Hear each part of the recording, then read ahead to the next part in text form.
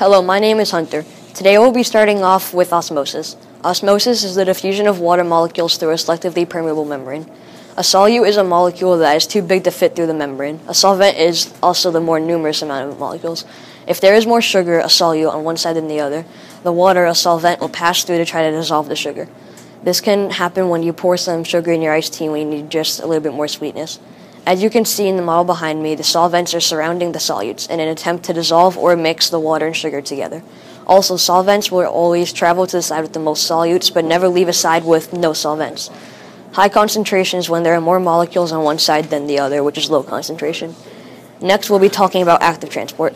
Active transport is the movement of materials through a cell membrane using energy. Active transport can also be looked at as the downside of cells because it uses one of our hard earned ATPs.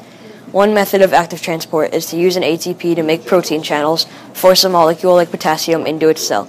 Another method is to send out part of the cell membrane to create a vesicle and escort it through the opening. This only occurs when the cell membrane has no protein channels. The final way is to have the cell membrane engulf the particle. It then pinches off from the rest, connects, and forms a vacuole in the cell.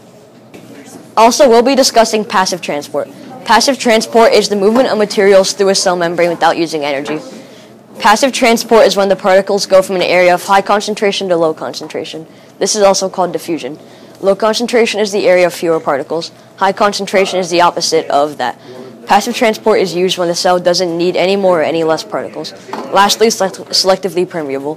Selectively permeable is a property of cell membranes that allows some substances to pass through while others cannot. Selectively permeable membranes can restrict and allow certain things in and out. It is to let things in and out by their shape and size. For example, if you try to walk through a chain link fence, you won't fit, no matter how much of a diet you're on, but creatures like a flying bee can get through it no problem. Why is that? Think of a fence.